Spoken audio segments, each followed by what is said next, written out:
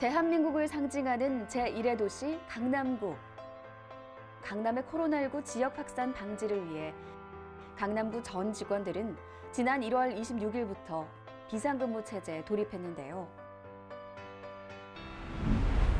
독일의 시사주간지 디차이트가 강남구의 코로나19 선진 대응 방식을 취재하고자 지난주 강남구를 방문했는데요.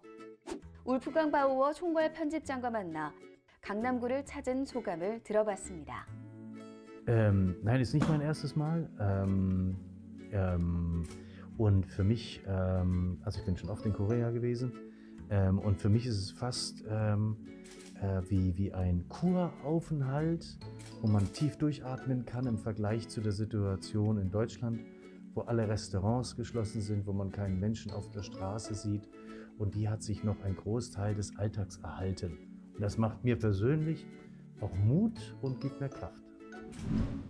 Ich glaube, die, die, die, die ausländische Presse, ich meine insgesamt vor, äh, vor Corona, ähm, hat, glaube ich, Gangnam als, als aufregend, interessant, äh, ähm, sehr divers empfunden. Ähm, jetzt, glaube ich, gibt es kaum noch ausländische Presse im, im Land. Ich bin, glaube ich, einer eine ganz wenigen, äh, die im Moment hier, hier arbeiten. Es wird aus der Ferne berichtet, über Telefoninterviews, ähm, über Korea. Ähm, und ja, fast ausschließlich äh, deswegen, weil Korea wirklich neben Taiwan und, und, und Singapur zu den exemplarischen Ländern gehört, die bislang erfolgreich gegen Covid äh, angegangen sind.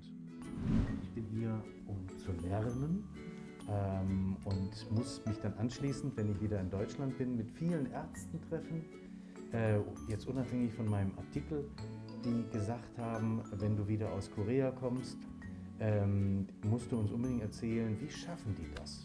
Was ist ihr Geheimnis? Also es gibt ein ganz großes Interesse an, wie Korea äh, die, die letzten Monate